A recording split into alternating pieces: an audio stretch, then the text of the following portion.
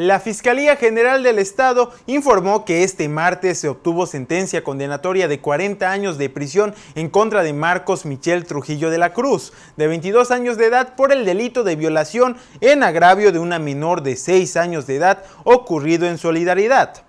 Tras las pruebas suficientes, la Fiscalía Especializada de Atención a Delitos contra las Mujeres y por razones de género comprobó el ilícito ocurrido el mes de octubre del año 2017, cuando la menor se encontraba sola al interior del domicilio, el imputado entró y aprovechó de la pequeña.